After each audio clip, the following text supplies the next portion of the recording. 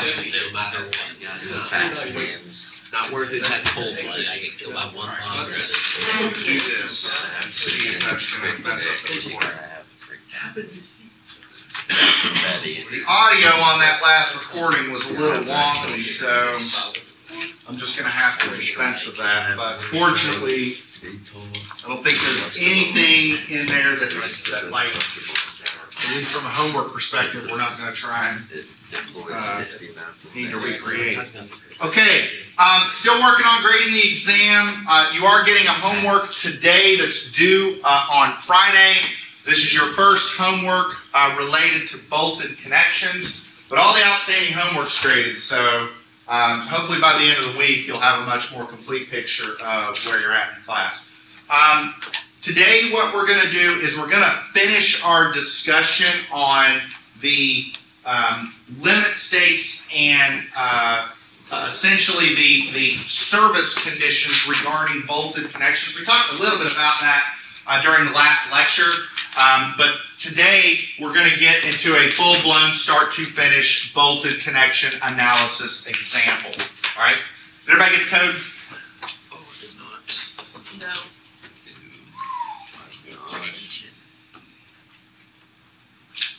In the last class uh, that we had, you had mentioned that the rivets were more economical and they varied more. No, no, less I'm economic. sorry, less. Yes. So if they vary more, is the least amount of the rivet more than the highest amount of a bolt? Just out of curiosity. Um, that's a good question. Um, I'd have to go back into the, the literature to see, but what I can tell you is that generally high strength bolts um, present at least enough capacity to match rivets, if not more, particularly A490s. Um, so I, I'd, I'd honestly I'd have to go back to the literature to see, but we, from from a new construction standpoint, we haven't used rivets for 30, 40 years, something like that. So, I mean, we're not going to be going back to using those anytime soon. And again, I think as a up and coming structural engineer, the only time you really ever see them is if you were rating an old structure. And when you rate them, you're, to be frank, you're conservative as hell when you estimate the capacity. So, um, but yeah, the, the answer of does the, the highest possible capacity rivet uh, mirror the lowest capacity bolt? Possibly, but there's so much statistical variability, I wouldn't count on it. So. That's a good question, though. I like that. Any other questions? Is good stuff.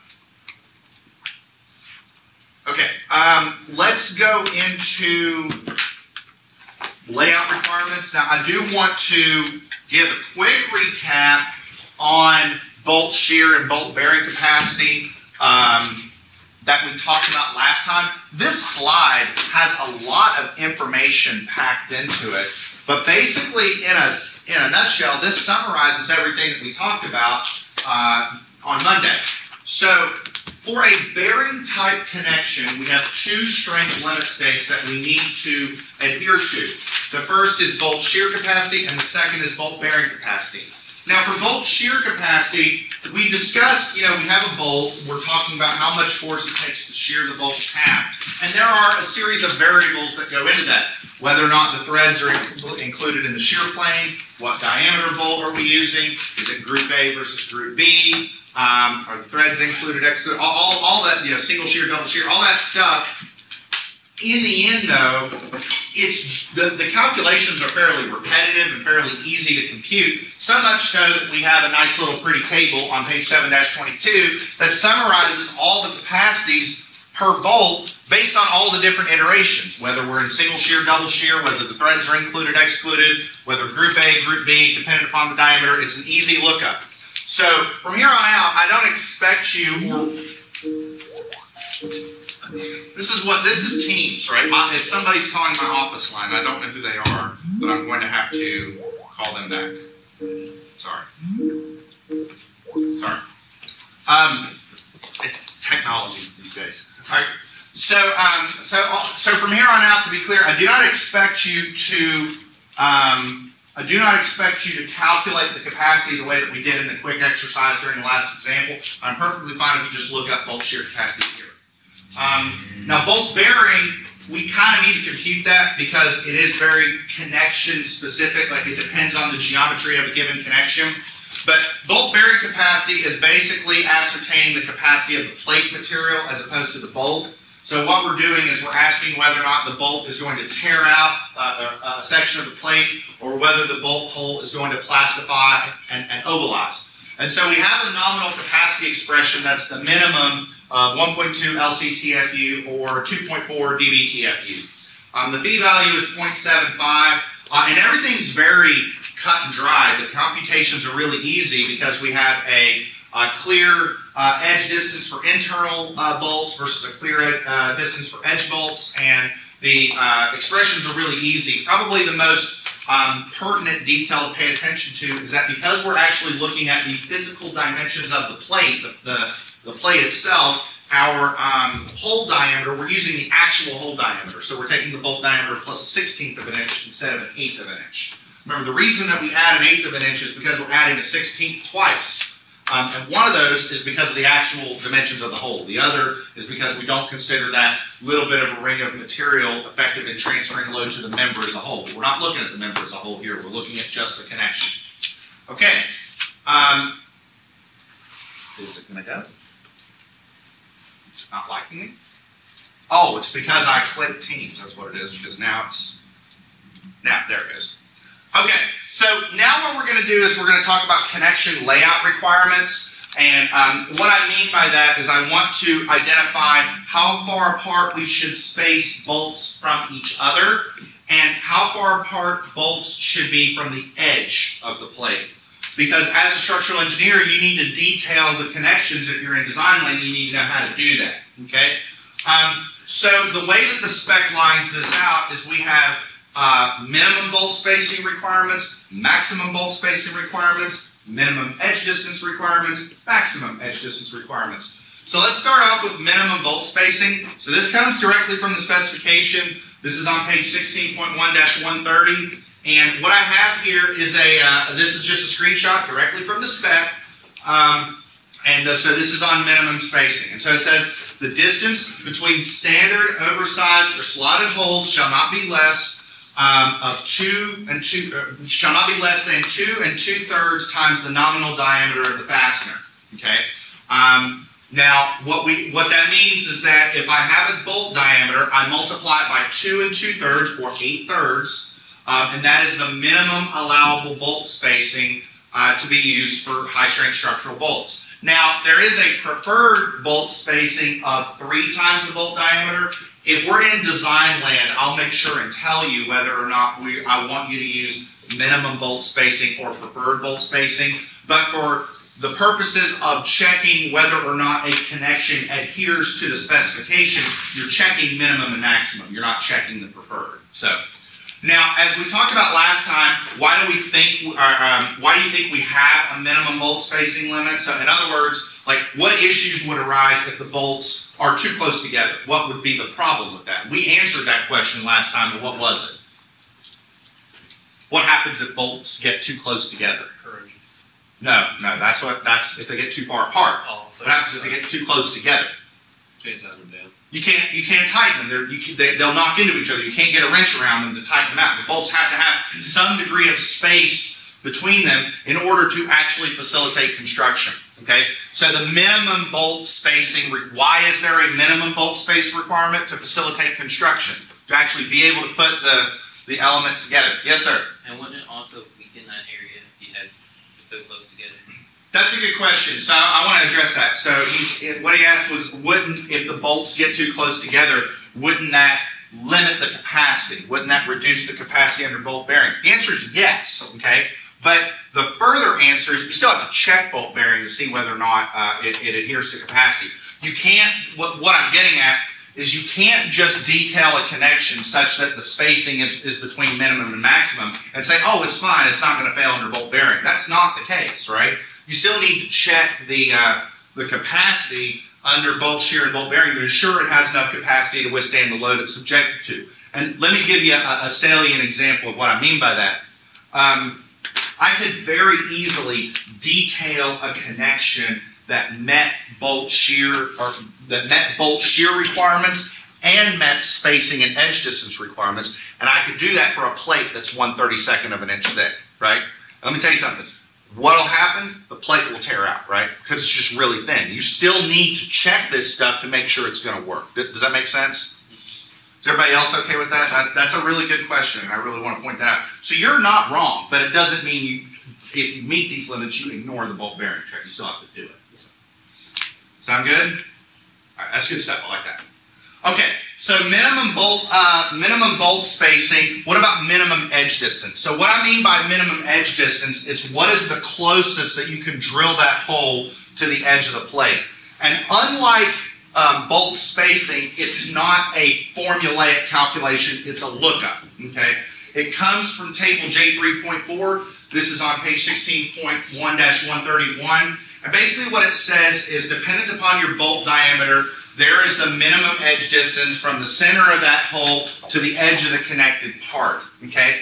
And um, for the most part, it's usually plus a quarter of an inch. There are some deviations for that. So like for example, if your bolt diameter is an inch and an eighth, the minimum edge distance is from an inch and a half. Um, to be clear, um, as I mentioned earlier, the reason for a minimum bolt spacing is to facilitate construction. The reason for a minimum edge distance is to facilitate fabrication. Um, in other words, these are as close to the edge of the plate that fabricators are comfortable specking a hole. Okay. Um, so what I'm getting at, these edge distances, these come from standard fabrication practices. They come from workmanship tolerances. These are not um, formulaic computations. Um, this is essentially as far as the fabricators are comfortable in pushing the envelope. Okay, so that's why there's no real formula. It's just based off of rules of thumb in the fab shop. So that's why it's kind of a lookup. Does that make sense? Again, for most of it, it's a quarter, uh, the bolt diameter plus a quarter of an inch, but not always, which is why you gotta look it.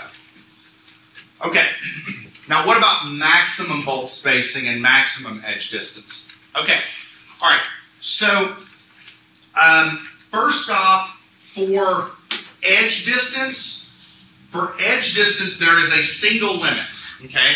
And what the spec says is that the maximum edge distance um, from the center of any bolt to the nearest edge shall be either 12 times the thickness or 6 inches, whichever governs. So the maximum edge distance, regardless of, of condition, or of, of plate condition, is the minimum of 12 T or 6 inches. But for bolt spacing, the maximum limit on bolt spacing is contingent, it's dependent on the plate condition. In other words, if you have painted members, or if you have unpainted members subjected to corrosion, you have a less stringent limit than you have unpainted members. So if you have unpainted members or weathering steel or any uh, uh, um, uh, steel that's subject to corrosion, the spacing shall not exceed either 14 times the thickness or 7 inches. Okay?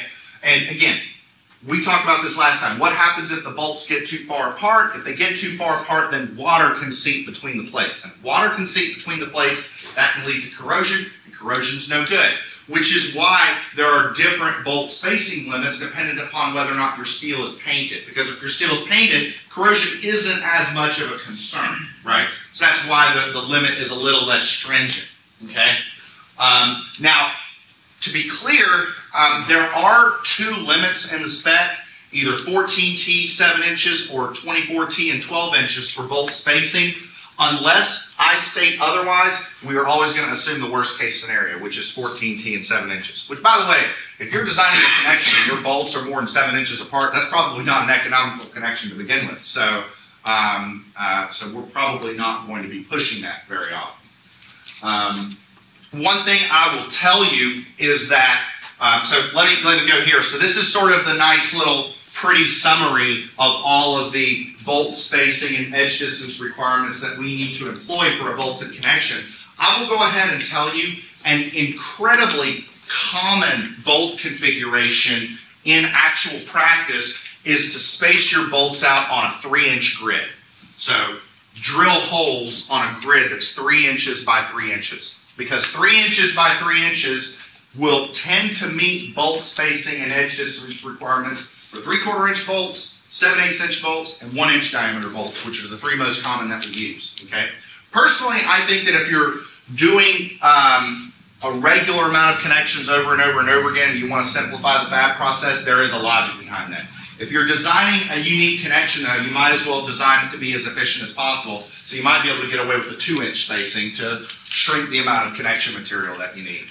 Um, but yeah, so these are our bolt spacing limitations. These are our edge distance requirements. Everything is formulaic except for the edge distance requirements on the minimum side. And again, that just comes from fabrication practices.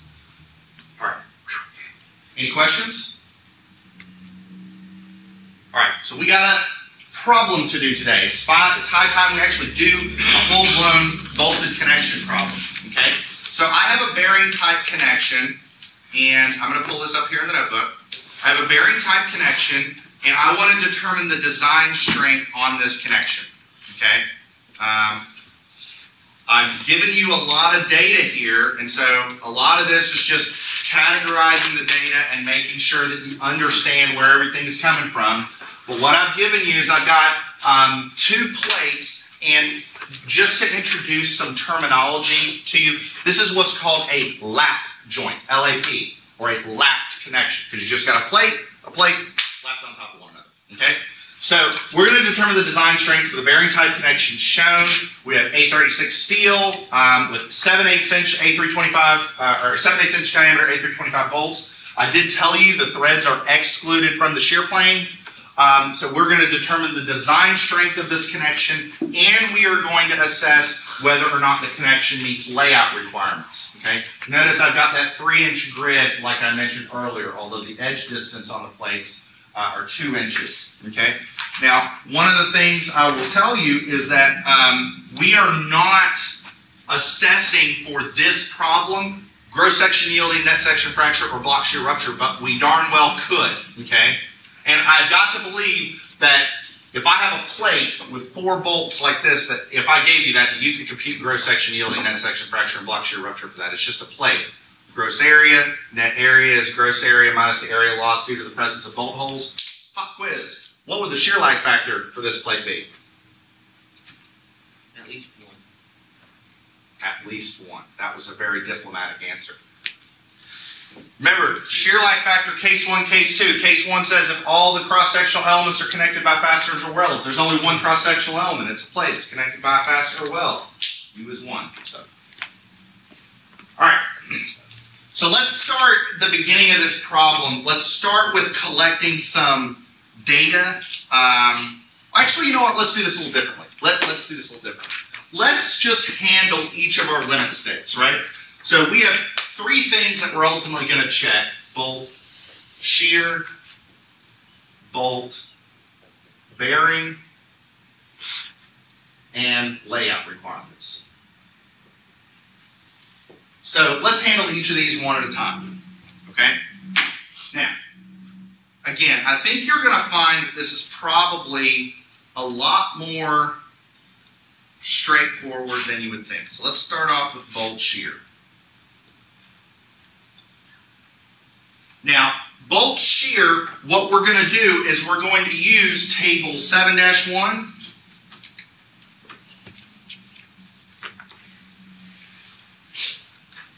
on page 7-22.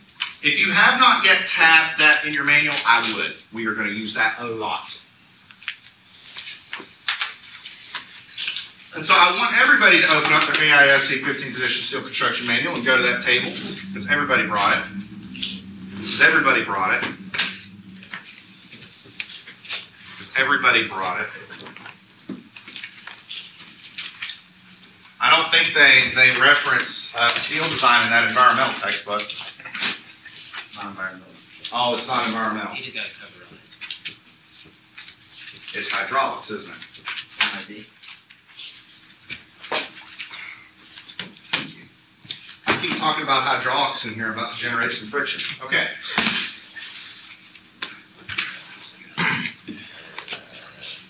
I'll keep telling jokes, they'll just throw you for a loop, I promise. All right. Oh So- my gosh. I'm just I love this job. Okay, so table seven one, page 7-22. In order to utilize this table, we're gonna need some data. So let's start off with, um, the bolt diameter. What's the bolt diameter for this problem? Seven, eight. Seven eighths, okay? Now, um, let's start off with the group. Are we in group A or are we in group B? Group A. A three twenty-five bolts is group A. Now, are we in group A N or group A X? X. The threads are excluded, right?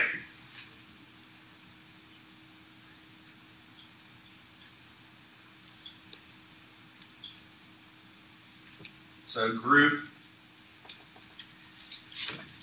AX. Now the other question, let's take a look at the connection. Are these bolts experiencing single shear or are they experiencing double shear?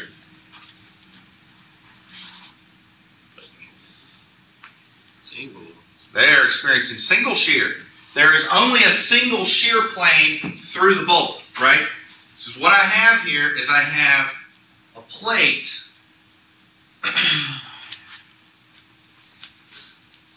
and I have this, right?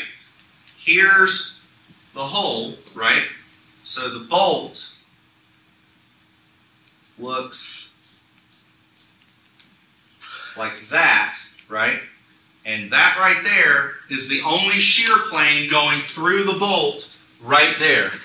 This is a single shear plane. Does that make sense? There's two plates, but there's only one plane between them. So what this means is that this is single shear. So taking all of this data, what is BRN for a single bolt?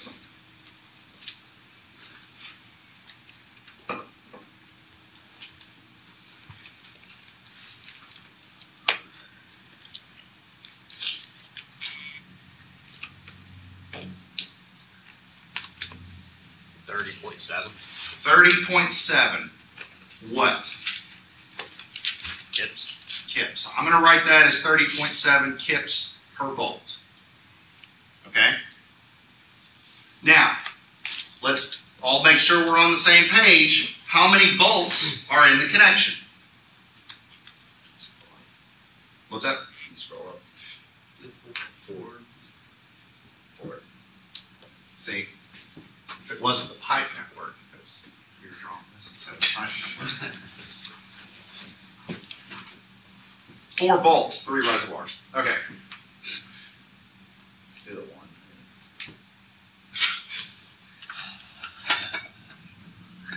All right. So what that means then is, so here's my notation, just so everybody's aware. So phi little r is per connector. Phi big R is for the entire connection. So 30.7 kips per bolt. And again, the phi value is already baked into this. All right. I think I can do this one in my head.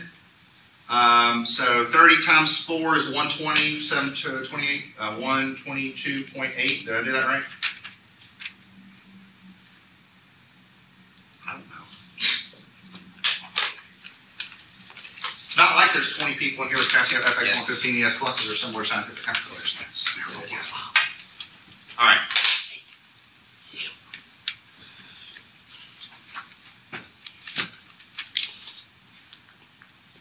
So that's our bolt shear capacity. That's how much load it takes to shear these bolts in half. Okay. The next thing we've got uh, with appropriate factors to safety and all that. So now what we need to do is assess our bolt bearing uh, capacity. Okay. Now I want to make a point about bolt bearing now that isn't going to be super important now, but will be important later. Okay. The nature of a connection is just that to connect part A to part B. Okay. So whenever you're assessing a bolt bearing uh, limit state, there are always two cases. The members or plates transferring load that way, and the members or plates transferring load uh, that way. Okay? There's always two cases. But if we look at the problem, let's look at these two members. Both of them are plates that are a half inch thick. Both of them have the same number of bolts. Both of them are made with the same amount, or the same grade of steel, and both of them have the same bolt spacing and edge distance requirements. So, because they're literally the same member, I'm only going to check one case of bolt bearing. Although theoretically there are always two, right? We're going to have problems later where it's a W section connected to a plate. And those are different cases of bolt bearing. The W section might be grade A992, the plate may be A36, so you have to check both. Does that make sense? We're, we'll do that later, but right, so right now, like the, it's the same plate lapped on top of one another, and that's just so that we understand the math. Okay.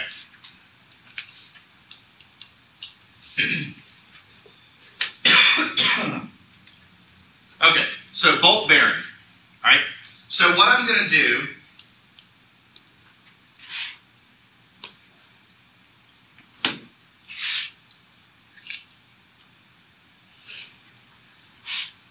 So that's the plate that I'm yanking on, and I've got two well, I've got four bolts. So I've got one, two, three, four. Okay? Now, somebody help me out with dimensions.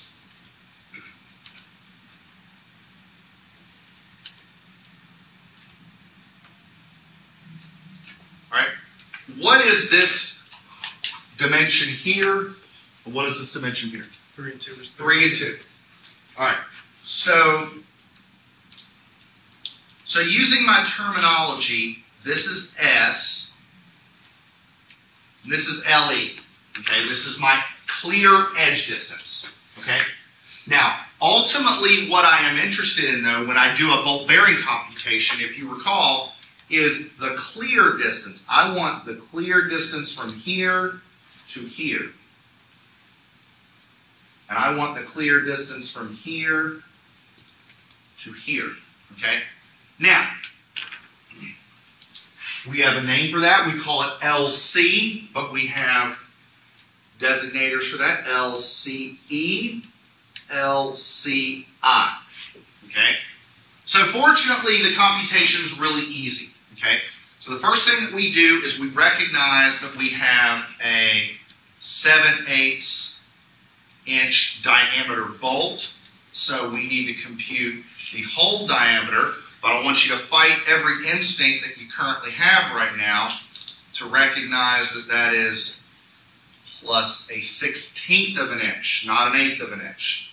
I know some of y'all are going to hate me on that, but that's just kind of the truth there. So our hole diameter is 15 sixteenths. In other words, if you have a 7 8 inch diameter bolt, you are grabbing a 15 16 diameter drill bit and drilling the hole to that diameter. That is the actual physical dimensions of the hole. All right? Now, does anybody remember the formula for LCE and LCI?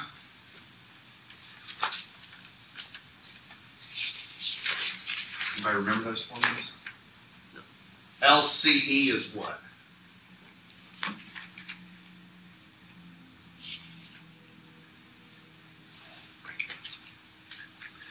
I'll do this. LE minus half a hole diameter. Now you're doing the next one. But I'll, I'll go ahead and do the, I'll do the numbers here. So this is two inches minus a half of 15 sixteenths. And when you chug that out, um, I, I'm fine with that being decimals. Um, it ends up being something like 1.531 inches. Now, somebody else tell me what's the formula for this one. This is my hole diameter. What's the S minus the hole diameter? Yes.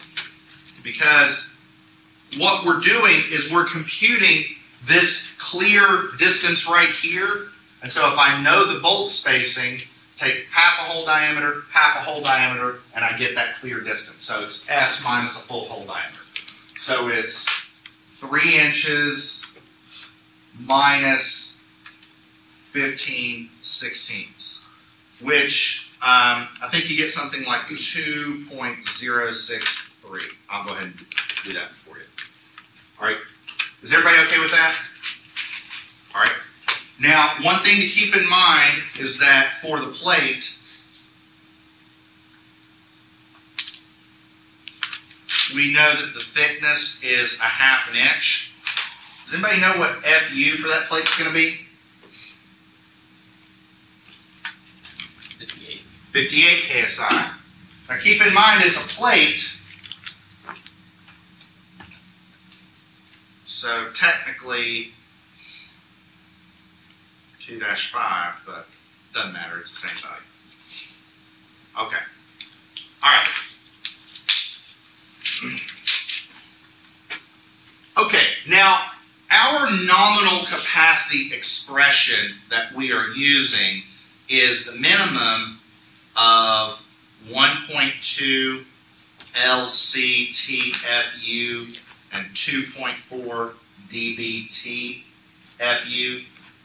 Okay, so the way that we're gonna do this though is we're gonna have to compute a nominal capacity for an edge bolt and a nominal capacity for an interior bolt and then combine them accordingly, okay? So the way that I like to do this, because I, I like to do it in such a way that it's the minimum amount of button crunching as possible, okay? This is how I like to do it. So what I'm gonna do is, I'm gonna make three computations. First thing I'm gonna do is 1.2 LCE TFU, okay? So that is 1.2 times 1.531 times a half an inch times 58 KSI. Tell me what we get for this.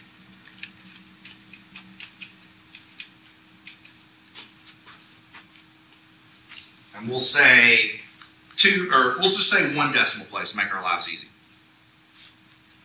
I got fifty-three point three. All right, fifty-three point three kips. Because it's KSI times inches times inches. Do I have a second on that? Okay. Now what we're gonna do is one point two LCI TFU.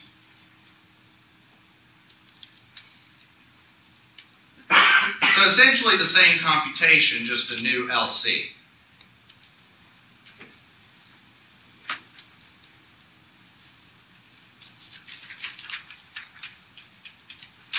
Okay, and so what do we get for this?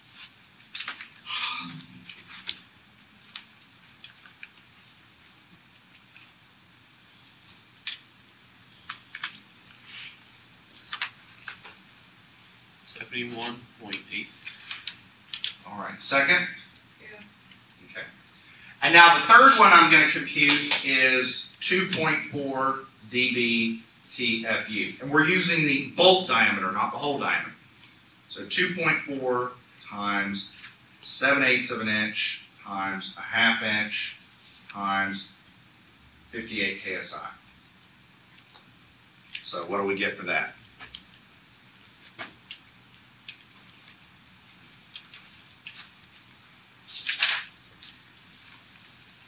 Sixty point nine kips. Sixty point nine, do I have a 2nd Mhm. Okay. So, here's what I'm gonna do, okay? I'm going to say that the nominal capacity of an edge bolt is the minimum of one point two LCE TFU and two point four DBTFU.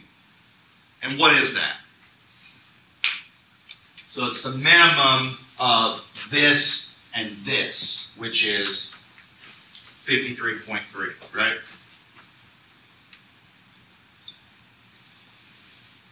But then RNI is the minimum of 1.2 LCI. TFU and 2.4 DBTFU. And what is that? 60.9. 60.9. So let me, let me just make a point on something. Let's talk about this behaviorally. What is this saying about the edge bolts? Are they going to tear out or is the bolt hole going to ovalize or plastify? Which one governs? The one point, the one point two, right? And remember, the one point two is the one that's related to tear out, right? So the edge bolts are going to tear out. What are the interior bolts going to do? They're going to plastify, right? See, I showed you an image in a previous lecture. Uh, in the previous lecture, I'm going to pull that image up because I kind of I think this is pretty important. So, like, looky here. So here we have the same plate. We have one bolt tearing out, and we have one bolt where the hole is plastifying, right?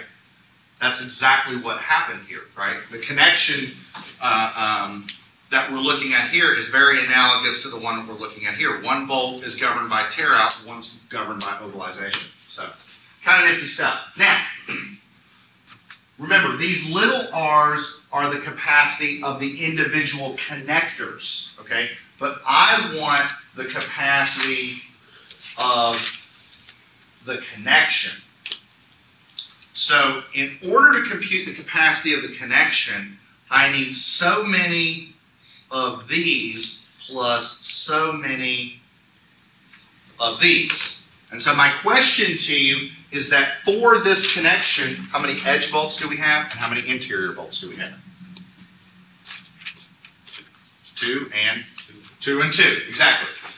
The ones on this row right here, those are the edge bolts, so there's two of them, and there's two interior bolts. So So that's only with respect to the axial.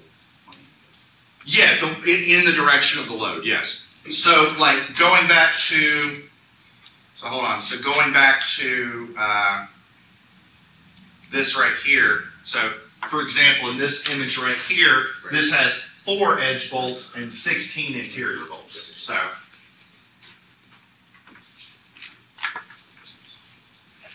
So this is gonna be uh, two times fifty-three point three kips plus two times sixty point nine kips, which is what?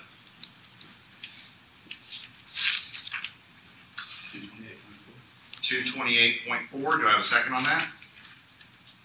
Is this my design capacity? No. What did I forget? You forgot the phi value. Phi value.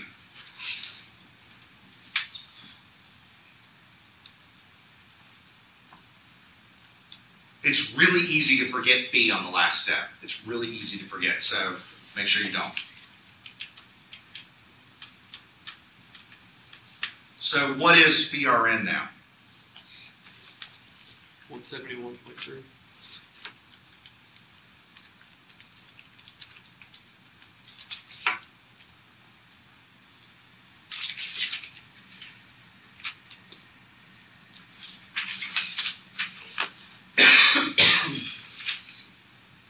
So when we did this, this tells us the capacity is one seventy-one point three kips. What was the capacity for bolt shear?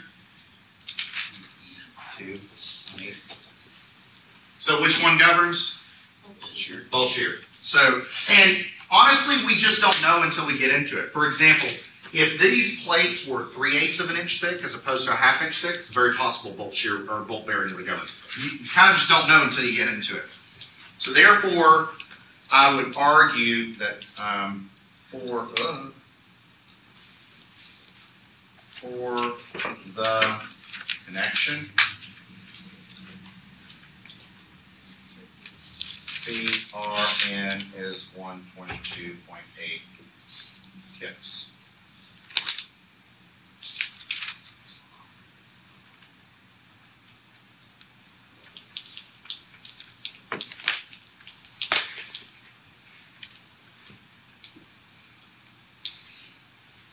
Alright, now, we have something left to check, right, which is our layout requirements, so.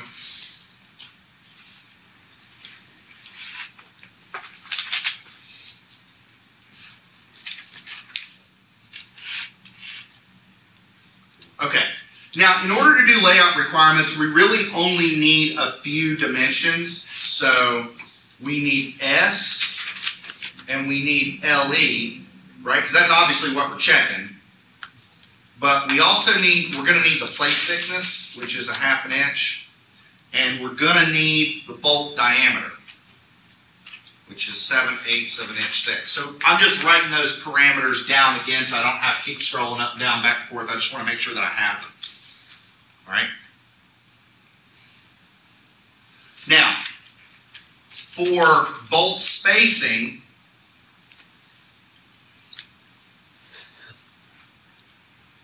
okay, so we have an S minimum of two and two thirds or eight thirds times the bolt diameter, which is eight thirds times seven eighths of an inch. So that's what, seven thirds or 2.33 inches? Did I get that right? Because the eights cancel. So that means those bolt, or wait, did I get that right? Yeah. All right. Now, that's S min. What about S max? Somebody help me out. What is the maximum bolt spacing?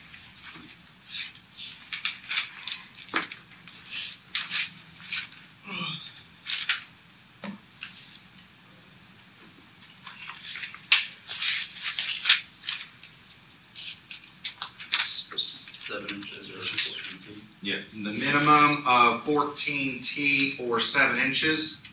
So it's the minimum of fourteen times a half an inch or seven inches, but those are the same, right? Because fourteen times a half is seven. So that's seven inches. So what this is saying is that our bolt spacing has to be between that and that. What is our bolt spacing? It's three inches, so that's okay, right? That's good. That's between our limits. And so we just do the same thing for edge distance. So this, like I said, this really isn't all that hard. Um,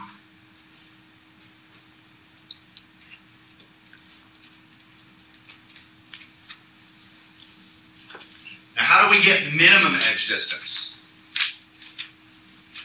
We have to look it up. We can't just calculate it, right? So, what is the minimum edge distance uh, according to table J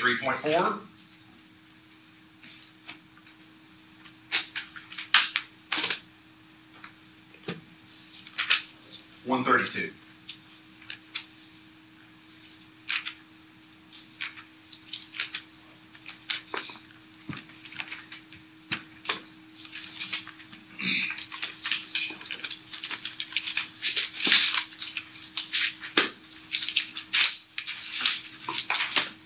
Did I get the page number right? I think I did. Yep. You got turn page. One thirty-two, there you go. So for a connector that is seven eighths inches in diameter, what's the, um, what's the minimum bolt spacing? One and an eighth.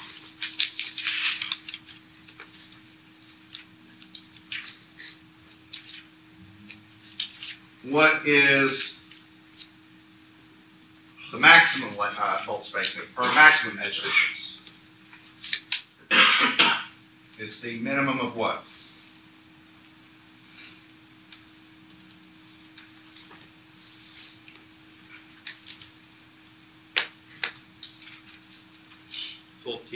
There you go.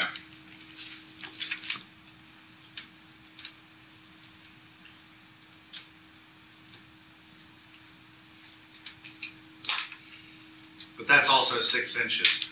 So our edge distance needs to be between uh, one and one eighth and six inches, and our edge distance is actually two inches. So we're okay on this too. So basically what I would say is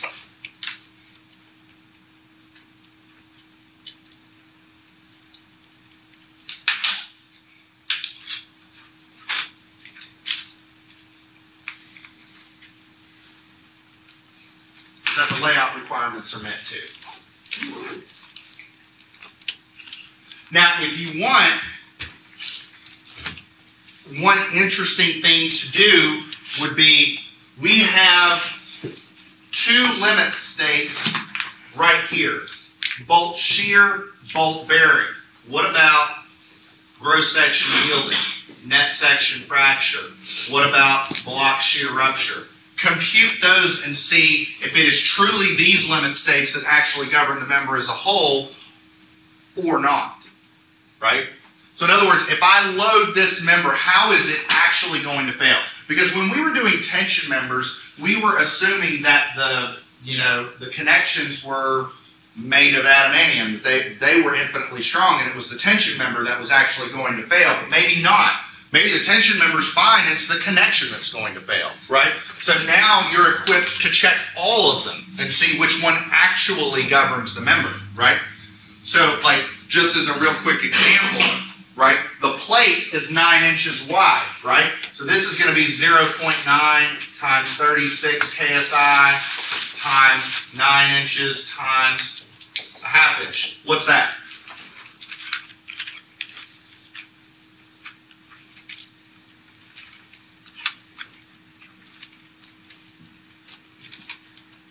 One forty-five point eight. So, so far, this is governing, right? What about net section fracture? So 0.75, 58 KSI.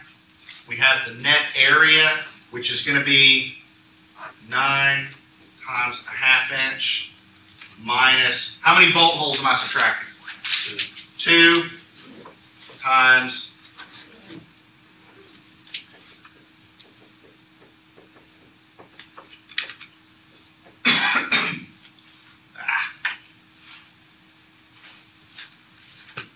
right? So 0.75 FU, net area, and U, right? So there's your net section fracture, and we, I'm not gonna do block shear, but I mean, you could keep on doing that and see. I'm just curious, does- what is net section fracture? Let's see what it is. One fifty-two point two five. Ah, one fifty-two point two five. I have a second? Yeah. So here, this is kind of interesting. Like, if we had done this problem when we were looking at tension members, we would have completely ignored the fact that so far, actually what's going to fail are the bolts, not the member, right? Interesting stuff, isn't it? So, there is, yes. So when you figured out at the end of your example problem, the bolt spacing and everything, that we're talking about the scan inside how you have the secondary requirement, you can first figure out the tensile strength of the member itself. So Um, let me say this, that question will be a little easier to answer when we get into connection design. So, that, that'll be a little easier to answer.